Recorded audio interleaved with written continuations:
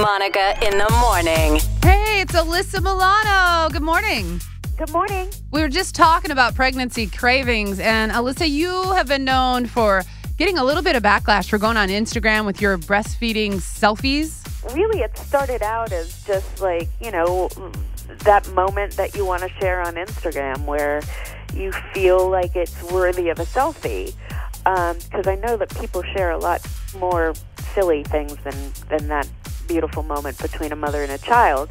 Um, but then because I started getting backlash, I was like, well, I'm going to keep posting these because this is crazy. Right. Um, you know, and and the whole point is to try to normalize breastfeeding because uh, I think it's an important thing. I think it's important for for our kids to see other women breastfeeding. Like I want my daughter to live in a world where she watches, uh, and it's normal for women to breastfeed.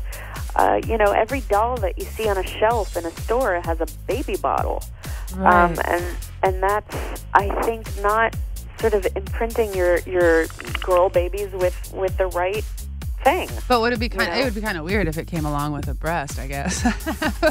But why? It's only weird. It's only weird because we've sexualized breasts. Yeah, you know, my wife and I, when my wife is out breastfeeding, uh, there's people, men and women, that both give us that look. It is not just men. I mean, I think I think I've I've gotten a lot of comments from women as well.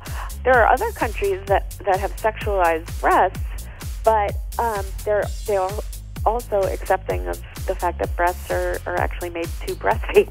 So it can be both. you have been known to say, well, at least once anyway. I saw this quote: "Your female body is the perfect machine," which I love. Yes. We call my wife the milk truck.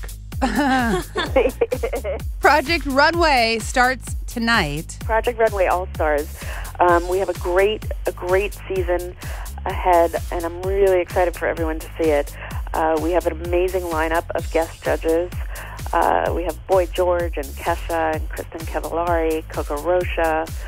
Uh, who else? Debra Messing, Zac Posen, uh, Nina Garcia, Brad Goreski, Debi. Mazar. I mean, it's just an amazing lineup of guest judges this season, and as well as you know, amazing designers. And uh, we we even do a, a touch challenge. You know, have this clothing line called Touch by Alyssa Milano, which is all sports licensed. Um, and it's female fan apparel, and we actually did a touch challenge this season on Project Runway All Stars, where the winning design is a part of my fall collection. For people that didn't know, you design stuff. You even have a comic book. I do, yeah. I created a comic book, a graphic novel So cool. Talk about activist. uber creative. Yeah, you know, I just I feel like I need to do a lot of things to feel creatively fulfilled. Um, and these are all things, you know, with exception of being in front of the camera, all the stuff behind the camera, like my designing and and the comic book and everything. These are things I could do from home, so I could be with be with my children and still feel productive. And that's all I think super important for me. We're going to catch you tonight, Alyssa. Project Runway All Stars on Lifetime. Thank you. Have a great day, guys.